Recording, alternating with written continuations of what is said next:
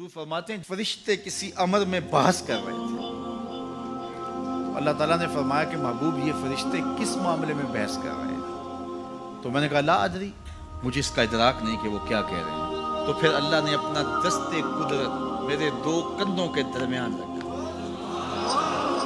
फिर क्या हुआ इससे? अल्लाह का दस्ते कुदरत। दस्ते कुदरत कह रहे हैं, बाकी कोई लफ्ज ही नहीं हमारे उसने दस्ते कुदरत कुदरत वाला हाथ मेरे दो कंधों के दरमियान रखा। ये कौन कह रहे हैं? मेरे हुजूर कह रहे हैं। मेरे रब ने दस्ते कुदरत मेरे दो कंधों के दरमियान रखा। फिर हुआ क्या? सुन लो अगले लफ्ज। दस्ते कुदरत यहाँ आया, ठंड सीने में पड़ गई। फ़ालिम तो माफिस समावात वल अर्द।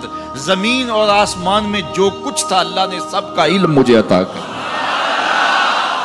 सीने में नूर आ गया, सीने में इल्म आ गया। कायनात की कोई शय ऐसी नहीं है जो हुजूर अलैहिस्सलाम ना जानते।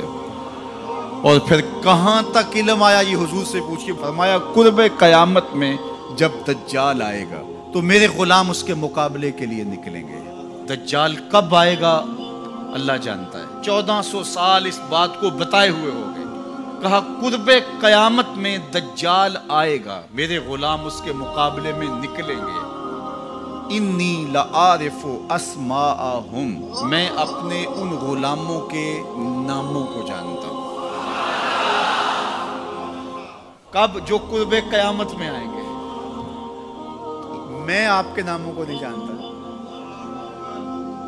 आप दो दो साल चार चार साल पाँच पाँच साल से मेरे पीछे जुम्मतुल मुबारक पढ़ रहे हैं। शक्लों को पहचानता हूँ, नामों को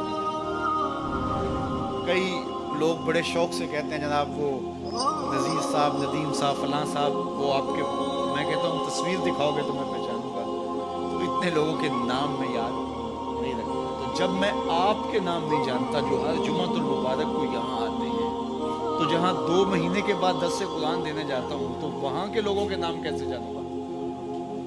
और फिर जो सोशल मीडिया पे सुनते हैं, और मैं उनको देखा भी नहीं, उनके नाम कैसे जानूँगा? और मेरे हुजूर क्या कह रहे हैं? कि कुर्ब कयामत में जो दज्जाल आने वाला है और मेरे गुलाम जो उसके मुकाबले में निकलेंगे, मैं उन गुलामों के नामों को जानता हूँ। बात खत्म यहाँ नहीं हुई, यहाँ खत्म हो जाती, फिर भी काफ़ी था। लेकिन मेरे हुजूर ने आगे भी बात फरमाई। वह असमा बाए हिम उनके बापों के नामों को भी जानता उनके बापों के नामों को भी कहानी खत्म नहीं हुई, बात आगे फरमाई। वह अलवाना खयूल हिम जिन घोड़ों पे चढ़ के जिहाद करेंगे, मैं मोहम्मद उन घोड़ों के रंगों को भी जानता हूँ। कौन सा गुलाम, किसका बेटा, किस कबीले का फर्द, किस रंग के घोड़े पे बैठ के जिहाद करेगा, कहा मैं सब जानता हूँ। ये क्यों जानते हैं दस्ते कुदरत हुजूर के कंधों पे आया? वो कहता है, अर्रहमान, अल्लामल कुरान। ये तलवीज रहमान है, मैंने पढ़ाया है। तो जब उसने पढ़ाया है तो फिर कोई शय मखफी, महबूब से कोई शय पोशीदा नहीं रखी। और आला हज़रत फरमाते हैं, कोई निशानी बाकी रह गई जब रुख से निकाब भी उलट दिया। जब रब ने अपना आप भी नहीं छुपाया तो फिर कोई शह बाकी पीछे रह गई।